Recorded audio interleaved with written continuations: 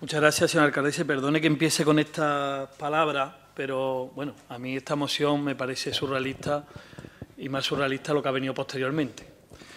Mira, las ciudades no se construyen a golpe de pleno, ni se construyen a golpe de moción. Y permitirme, no se construye a base de enmienda a una moción. Las ciudades se construyen a base de planeamiento, de proyectos, de modelos. Y eso es lo que se lleva haciendo muchísimos años en esta ciudad, independientemente de quien haya gobernado y con sus luces y con sus sombras, porque nadie tiene una varita mágica.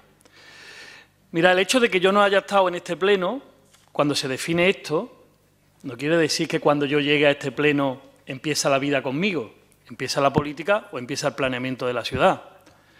Cuando se define qué hacer con el río en esta ciudad y qué hacer con la zona de Miraflores, los que lo definen, los que lo proyectan, lo hacen en base a un consenso político con los agentes económicos y sociales de esta ciudad, con los empresarios y con los sindicatos.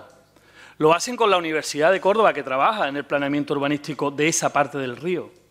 Y lo hacen los grupos políticos que están en este salón de pleno, que si no me, corrige, eh, el que en, aquella época estaba, creo, el señor Martín, se hizo con el consenso total de los grupos políticos que había en este pleno y de los concejales que votaron. No se construye una ciudad a base de que ahora yo tenga una ocurrencia y ahora le haga una enmienda a una ocurrencia. O sea, que el hecho de no haber estado nosotros y nosotras no quiere decir que no haya habido un modelo de ciudad consensuado y que se ha querido hacer no con ese solar. Ese solar es un solar más de los que hay en Miraflores. No os equivoquéis, no nos equivoquemos. Es un modelo de ciudad que se construye en torno a algo imprescindible, si no, no se puede entender Córdoba, que es el río Guadalquivir a su paso por el casco urbano que deja efectivamente el solar de Miraflores en un sitio pues, envidiable para cualquier planeamiento urbanístico. A partir de ahí hay un consenso histórico de qué poner en ese solar, qué hacer en ese solar. Otra cosa es la gestión posterior, que evidentemente, como gestiones que se han hecho mal por parte del Grupo Popular, gestiones que se han hecho mal por, grupo, por parte del Grupo de Izquierda Unida o por parte del Grupo Socialista, o cuando gobierne Ciudadanos, cuando gobiernen otro u otra, pues se verá, porque todo tiene sus luces y sus sombras. Hay cosas que sueñas construirlas en dos días y tardan dos años, y otras que sueñas construirlas cinco días, ¿verdad, señor Bellido? Y tardan 20 años, pero al final se construyen si hay un consenso y un modelo acordado. Y eso es lo que se hizo en su momento con este solar, dentro de un planeamiento urbanístico que tiene una definición perfecta, que es el río Guadalquivir. Y no hay ningún consenso, ni yo lo conozco, de que ahí tiene que haber un equipamiento cultural. No sé dónde está ese consenso, no lo conozco, ni usted tampoco, señor Bellido.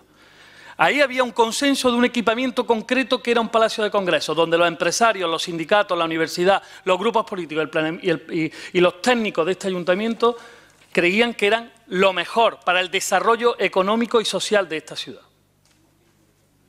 Eso es lo que tiene un consenso. Y eso es a lo que este equipo de gobierno, hasta donde yo sé, no ha renunciado nunca porque no hemos entrado en el debate de qué hacer en ese solar.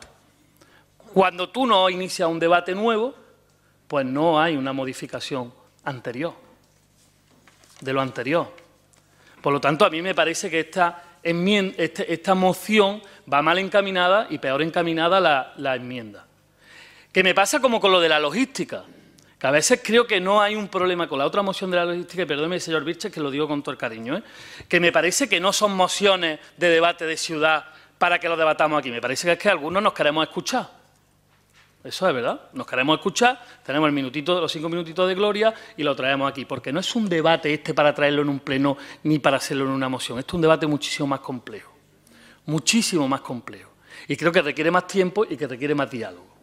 Por lo tanto, el actual solar de Miraflores no se puede modificar su planeamiento urbanístico, porque es un, planeamiento consensuado de ciudad y no es verdad que tenga un acuerdo de que eso sea un equipamiento cultural. Se lo acabo de preguntar al delegado de Cultura, si él ha estado en algún debate sobre ese equipamiento, ese solar y esa ficha del plan general. Y no ha habido.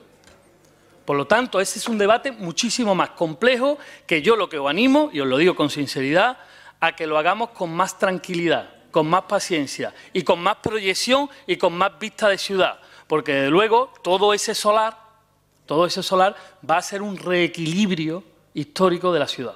Eso yo creo que nadie lo duda, como cuando el plan Renfe reequilibró la ciudad hacia Miraflores con las plusvalías que ocasionó. Por lo tanto, yo pido paciencia, pido tranquilidad, no pido que no se hagan verdades absolutas en cuatro frases sobre algo que es tan importante definir en el planeamiento urbanístico, con tranquilidad, con paciencia y verlo con, como se suele decir, ¿no? con, con buena letra, ¿no? y que la música acompañe a lo que se haga aquí en el Pleno. Lo digo la música por si alguno cree que eso puede ser, como ha puesto el Partido Popular, un, escenario.